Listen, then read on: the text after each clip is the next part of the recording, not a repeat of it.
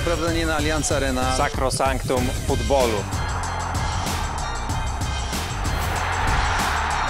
Żeby uformować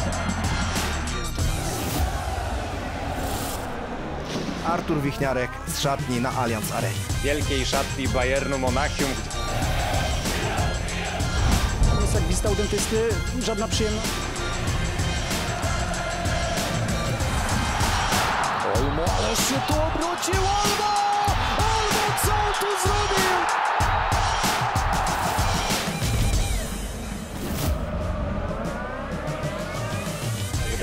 Super. Sakiewki? Jak już sprawdził.